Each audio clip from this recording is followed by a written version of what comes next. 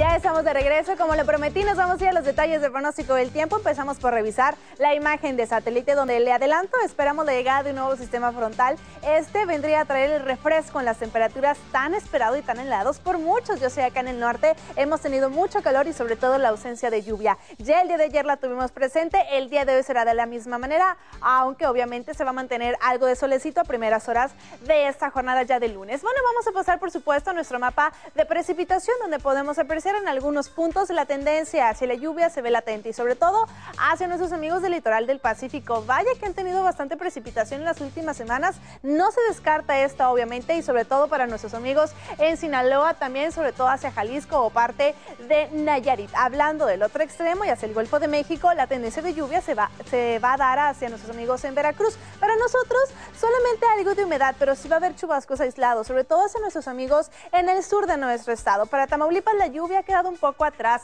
El fin de semana sí estuvo presente en algunos puntos, por ejemplo, de Tampico, de Reynosa, parte de la franja fronteriza, pero el día de hoy eso es muy poco probable. Hablando de nuestro estado, la tendencia es que obviamente se mantenga la tendencia a la lluvia, obviamente también en Saltillo, Torreón, parte de Zacatecas. Y hablando de los municipios, por ejemplo, de China, Lampazo, las máximas irán de los 32, 31, 33 grados centígrados. También hasta Doctor Arroyo hay algo de lluvia. Para nuestros amigos en Tamaulipas le platicaba que ha quedado atrás esa tendencia para dar pie de nueva cuenta al calor, al calor, perdone usted, y también a las temperaturas elevadas alrededor de los 37 grados centígrados. Al momento tenemos 23 al sur de la ciudad de Monterrey, medios nublados prevalecen, habrá que aprovecharlos porque después va a venir la lluvia, la máxima será de 33, la noche alrededor de los 24. Hablando ahora de lo que resta de esa semana laboral, podemos observar que el día de mañana martes igualmente vamos a tener una tendencia de precipitación y de nublados. Tómelo en cuenta en su jornada y también en su semana, porque ya después con esta llegada del sistema frontal que le platicamos, hace un momento, vamos a tener el refresco que vemos hacia el próximo viernes con mínimas de 19